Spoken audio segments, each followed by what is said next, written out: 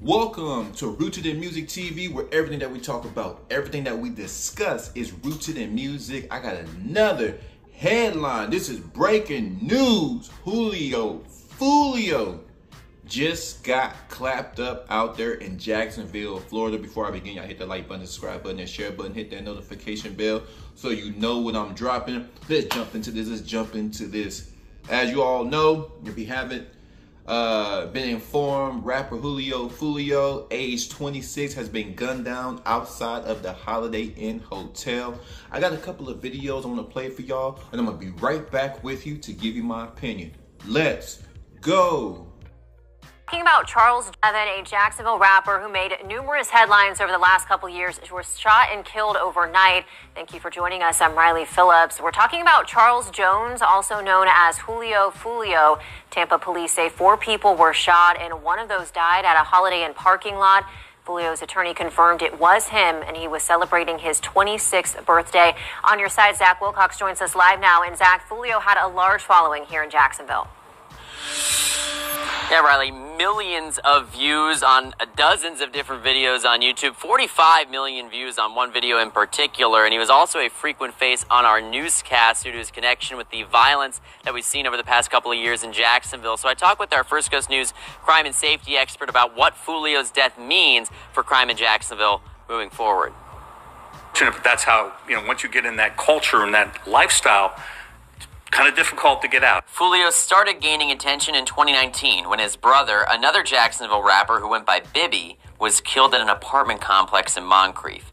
In July 2020, the rapper was shot in Houston, famously posting during his recovery stating, Y'all miss a hundred shots.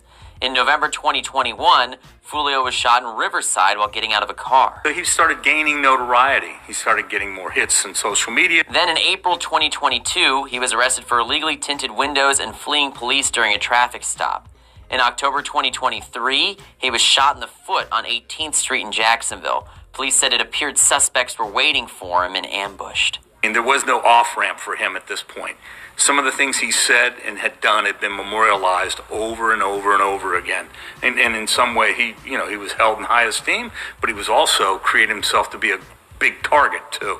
It all culminated this weekend when Foolio was shot and killed during a birthday celebration in Tampa. The rapper's attorney said he stayed in an Airbnb, but was asked to leave when his party went over the occupancy limit. Tampa police report they were called to a Holiday Inn just before 5 in the morning, where they found two cars riddled with bullet holes and four victims. Three were still alive and were taken to the hospital. The other was Foolio. Everybody's worried about retaliation or retribution. They always are. So, unless you're looking at a ton of time in prison, that's when sometimes you get people talking and you get somebody who's trying to mitigate their situation and says, I can give you this. First Coast News crime and safety expert Mark Bachman says JSO will play a role in that investigation despite the shooting happening in Tampa. Bachman says authorities will be on the lookout for another domino to fall following Foolio's death. Uh, total disrespect for one another, and then that disrespect fuels that anger, and then you have a, a blatant disregard for life, life at that point. Tampa police said this morning that they're working to figure out how this all happened, what started before the shooting, and they are also they didn't release any suspect information at this point story in Tampa where police are still looking for the person who shot and killed a rapper and hurt three others outside of a hotel there. Three others were injured in that shooting, as we said, but 26 year old Charles Jones was also known as Julio Foolio, was reportedly there to celebrate his birthday. I think he was turning, what, 26 or 27. Police are still trying to figure out a motive for the shooting, but in some of his songs, he made jokes about the murders of people in other groups as well as rappers? Um, I heard probably two series of shots, maybe like five shots each. Um, and then probably like five minutes later, just heard some voices. At that hotel because, according to social media posts, his pool party at an Airbnb was shut down by police. He alerted people, listen, I'm moving my party to this other hotel so people knew where he was going. And the people who ambushed him allegedly came there to do that. Three other victims are being treated at a hospital. Would y'all like my opinion? Would y'all like some of this rooted in music TV commentary? Well, of course you do. That's why your ass is here. Me personally, y'all got all the facts. He was beefing with another big rapper, Yungeen Ace. Um, but outside of the beefs, outside of how disrespectful Julio Foolio was, he took this. Uh, they consider him a Florida drill rapper. We all know that drill came from Chicago. Chief Keef, Lil Durk, Lil Reese, and them. FB, FBG Duck. 63rd. We got the uh what's that? Terrortown, Little Bibby, Little Herb. We got all these people coming from Chicago. It was jumping, right? And so it was drill was just a part of rap, but what the music industry is trying to do, make it make that rap. Like if you ain't doing this, you ain't gonna be big. But before I get on the music industry's ass, I want to get to Julio Foolio's last moments, the last five hours of his life, because something not adding up something's not adding up. You just like we know he was dissing these people, doing some hor- horrific things, going to the cemetery, talking bad about uh, his ops and all this type of stuff. I mean, just blatant disrespect. Now, before I get to Julio, why I said something's not right, this has been going on since the Bloods and the Crips. I mean, if you ever talk about disrespect, this has been going on in California for years. Talking mess about the others, dead homies. California been doing this is nothing new. You you you, you kill your you kill your op, you cross their name out, and you let everybody know who did it. Disrespect. So this disrespect is not new, or at least for a Calif- a guy from California, this is not new. Kill you, cross you out, and uh, like say your name is uh Lil Tony, they'll write Lil Tony and then cross them out. Now, the only difference was they didn't incriminate themselves. They didn't put it on there. They just knew that it was a gang. So we don't know which gang did it, which gang member did it, but we know that a Crip did it from this particular street. 9th Street Crips. They put Lil Tony's name on the wall and cross him out. And it, at the end it says 9th Street Crips.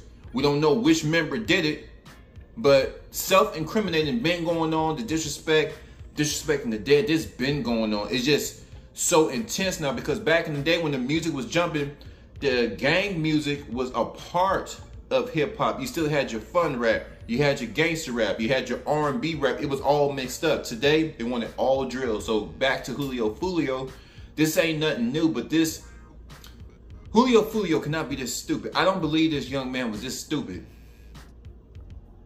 you know what you've been doing. Just like we we see you out there disrespecting these people.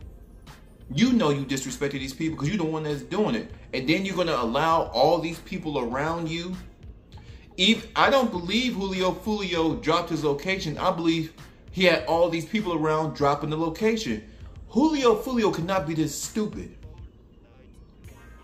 As disrespectful as you are even with all the love, even with all the Charleston White said it was love that got him killed because uh, Charleston White was talking about when he was in the barbershop, he was getting so much love from people, his guard was let down. That's why he got hit upside the head in the barbershop. But he said when he was pushing out that hate, he was on guard because he knew the the shit that he was talking was gonna get back to him.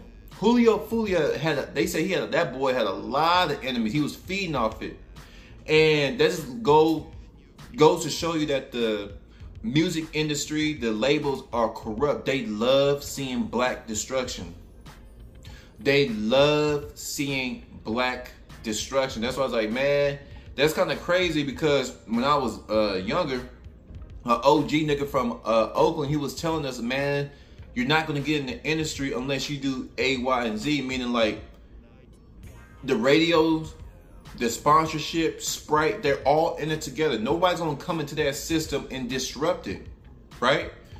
Unless your music is purely this music. uh, soul music, Musiq Soulchild. Angie Stone, if you're talking good music like that. Most people, when you go out to the clubs, most clubs, now you got your rowdy clubs, but most of this music, the drill music, is played on block parties and uh, the ratchet clubs. But most venues, most clubs, they want to hear good, positive, feel good music. Like the Gorillaz, feel good. Most of the, when you go out on a town, the music is upbeat, is the music that people look for when they go out is uplifting, vibrant music, right? That music, drill music is not even being played like that. Only to, it's only youngsters at these little ratchet ass venues, right? But when you're talking about music on a large, large scale, it's feel good music. Michael Jackson, feel good. Whitney, feel good. Even Tupac, feel good. Changes. It's all about humanitarian things, you know, uplifting people, getting people through the day.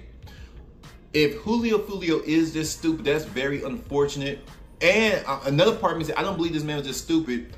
I what, what I believe is that um some deals he made with the label, you know, some there's something something demonic or some type of deal he made with the labels, you know, or maybe he didn't have enough money and he wrote in the will that if he, you know, if he gets killed, you know, maybe he set something up in his death to where his family's taken care of. Because I heard he wasn't getting that much money, and maybe he had a uh, not so much a death wish, but maybe he knew in death how much light was going to be shined on him, how much light was going to be shined on the situation around him, and how much publicity he was going to get for his family.